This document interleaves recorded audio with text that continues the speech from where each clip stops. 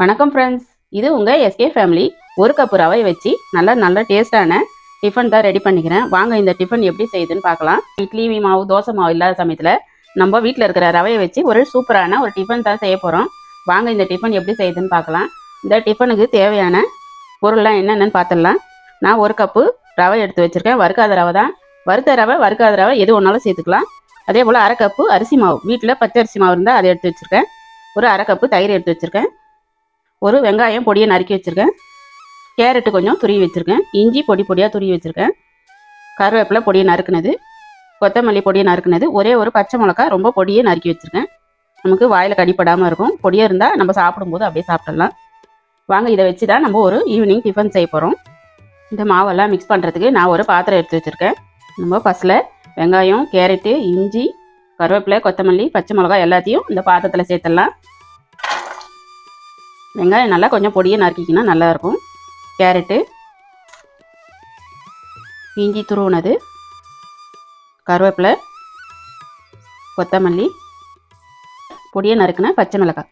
இப்போது ஒரு கப்பு ரவை எடுத்து வச்சோம்ல அதையும் சேர்த்துடலாம். ஒரு அரை கப்பு அரிசி மாவு. தயிர் ஒரு சின்ன கப்பில் அரை கப்பு எடுத்து வச்சுருக்கேன். நல்லா புளிப்பு இல்லாத தயிராக சேர்த்துக்கணும். நல்லா ஒரு ஸ்பூன் ஜீரகம் சேர்த்துக்கலாம். நல்லா வாசனையாக இருக்கும். இதுக்கு தேவையான உப்பு சேர்த்துக்கலாம். ஃபஸ்ட்டில் நம்ம தண்ணிலாம் சேர்க்கக்கூடாது. நம்ம தயிர் ஊற்றிக்கிறதுனால தயிரோட சேர்த்து நல்லா மிக்ஸ் பண்ணிடணும். காய்கறி எல்லாத்தையும் சேர்த்து அதுக்கப்புறம் தேவைப்படுற தண்ணி தான் சேர்க்கணும். ஃபஸ்ட்லேயே நம்ம தண்ணி சேர்த்துடக்கூடாது. தண்ணி சேர்க்காம ஃபஸ்ட்லேயே நம்ம மாவு எல்லாத்தையும் நல்லா மிக்ஸ் பண்ணிக்கணும். அதுக்கப்புறம் கொஞ்சம் கொஞ்சமாக தண்ணி சேர்த்து பசஞ்சிக்கலாம். நம்ம எப்போவுமே ஒரே மாதிரி இட்லி தோசைலாம் செய்யாமல் ஒரு வித்தியாசமாக இது மாதிரி ஒரு டிஃபன் செஞ்சு கொடுத்தோம்னா சாப்பிட்றவங்களுக்கும் நல்லா டேஸ்ட்டாக சாப்பிடுவாங்க. குட்டீஸ்க்கும் ரொம்ப பிடிக்கும் பெரியவங்களுக்கும் ரொம்ப பிடிக்கும். இப்போ கொஞ்சம் கொஞ்சமாக தண்ணி தெளித்து கொஞ்சம் கெட்டி பதத்துக்கு பிசைஞ்சிக்கணும். ரொம்ப தண்ணி ஊற்றிடக்கூடாது கொஞ்சமாக தண்ணி தெளித்து தான் பிசையணும். நான் எள்ளு எடுத்து வச்சேன். மறந்துட்டேன். நல்லா ஒரு ஸ்பூன் கருப்பு எள்ளு சேர்த்துக்கலாம். நம்மளோட அடை வந்து நல்லா சூப்பராக டேஸ்ட்டாக வாசனையாக இருக்கும். நம்ம க எள்ளு சேர்த்தோம்னா எள்ளை வந்து கொஞ்சம் நல்லா வறுத்துட்டு சேர்த்துங்க. கொஞ்சம் கொஞ்சமாக தண்ணி தெளித்து நம்ம நல்லா இந்த பதத்துக்கு பிசைஞ்சாச்சு. நம்ம அடை தட்டுற பதத்துக்கு இருக்கணும். ரொம்ப தண்ணி சேர்த்துடக்கூடாது.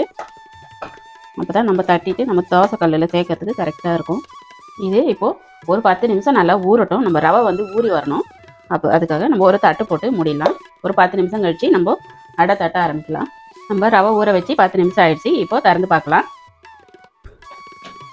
நல்லா சூப்பராக ஊறி இருக்குது இப்போ நம்ம எந்த சைஸுக்கு வந்து நம்ம தட்ட போகிறோமோ அந்த சைஸுக்கு நம்ம மாவு எடுத்துக்கலாம். உங்களுக்கு பெரிய சைஸாக வேணுனாலும் பெருசாக தட்டிக்கலாம். நம்ம குட்டி குட்டியாக வேணும்னாலும் தட்டிக்கலாம். நம்ம விருப்பம்தான். இப்போ நான் வந்து ஒரு வாழை வச்சு இந்த மாவு வந்து அடை தட்டிக்கலாம். தட்டுறதுக்கு முன்னாடி கொஞ்சம் எண்ணெய் நெய் எது வேணும்னாலும் நம்ம தடை விட்டுடணும் ஃபஸ்ட்டில் இப்படி. அப்போ தான் நம்ம இலையில ஒட்டாமல் எடுக்கிறதுக்கு கையில் அழகாக சூப்பராக வரும்.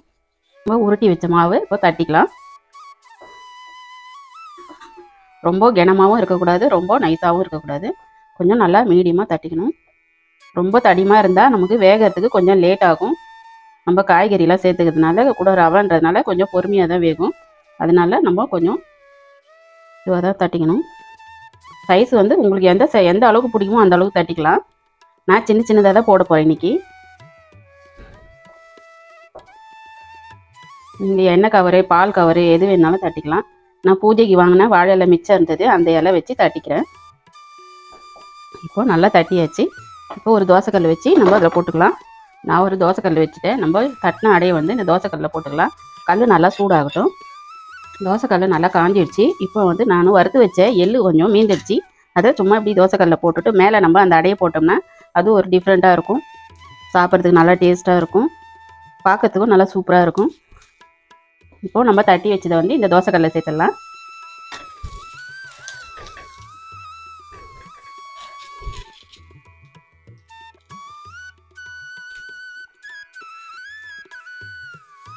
நம்ம தட்டினது தோசைக்கல்ல போட்டுட்டு ஒரு ரெண்டு செகண்ட் இருந்தோம்னா நம்ம வாழையில் வந்து ஒட்டாமல் எடுத்துடலாம் அப்படியே.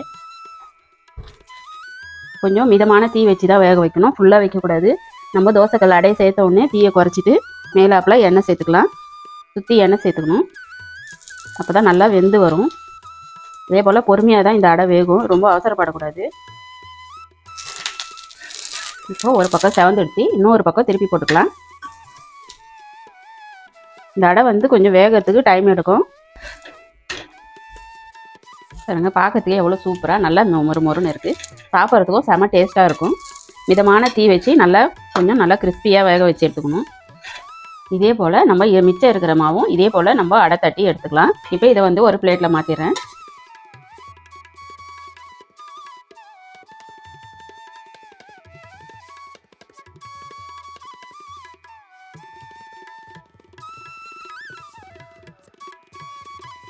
அவ்வளோதான் ஃப்ரெண்ட்ஸ் நம்ம ஒரு கப்பு ரவையை வச்சு சூப்பராக நல்ல டேஸ்டான ஈவினிங் டிஃபன் ரெடி பண்ணியாச்சு. இதே போல் நீங்களும் வீட்டில் ஒரு முறை ட்ரை பண்ணி பாருங்கள் இந்த வீடியோ பிடிச்சிருந்தா உங்கள் ஃப்ரெண்ட்ஸ் அண்ட் ஃபேமிலிக்கு ஷேர் பண்ணுங்கள் லைக் பண்ணுங்கள் மறக்காமல் எஸ்கே ஃபேமிலிக்கு சப்ஸ்கிரைப் பண்ணுங்கள் மீண்டும் நாளைக்கு வீடியோவில் உங்களை நான் சந்திக்கிறேன். பாய்